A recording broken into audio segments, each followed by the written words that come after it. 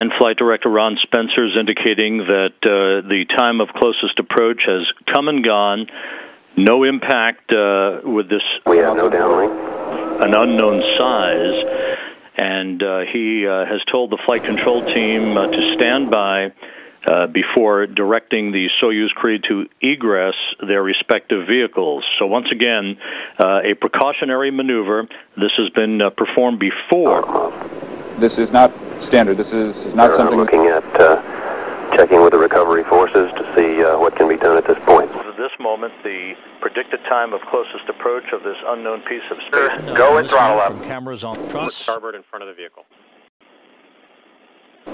predicted the station by an overall distance between 11 and 14 kilometers and field miss distance that has fluctuated throughout the day, now estimated to range up about 100 meters or so, either above or below the so-called three-dimensional box that the ballistics officers use in tracking the close approach of an object to the International Space Station. I don't see anything. Is orbiting Which at an is altitude the good news. 264 statute miles, moving from northwest to southeast on the uh, space station through his Ground two. It's supposed to. About one minute from TCA.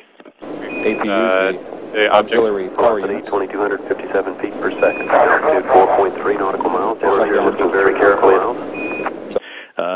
threat to the space station.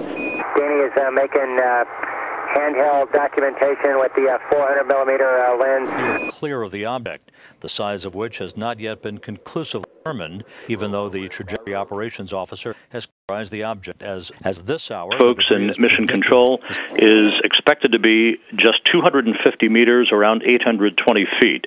So we're standing by now for that time of closest approach. My God. Don't know what the effect might be just yet. The astronauts will take a look later on.